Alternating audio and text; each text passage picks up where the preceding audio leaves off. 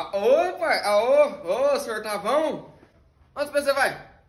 É, eu vim catar o, o bichão aqui pra fazer um, um, um, Trabalhar, fazer um serviço ali que tem pra fazer. Sei, o que, que você vai fazer? É. Eu engatar a rosca do, do, do cardan pra fazer arrumar minha, minha cerca. Tem vergonha nessa cara, rapaz. Você vai engatar a rosca só pra fazer um buraco pra arrumar um pau de cerca? Pra segurar tua égua ainda.